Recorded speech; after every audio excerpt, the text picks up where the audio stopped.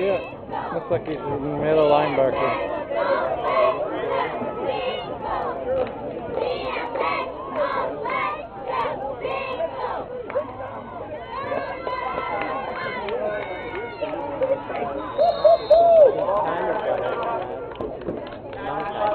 Yeah, he dived in there at some. I don't think I have the ball though. Yeah, he's knocking down other people to keep them from knocking down people who are trying to tackle the ball carry.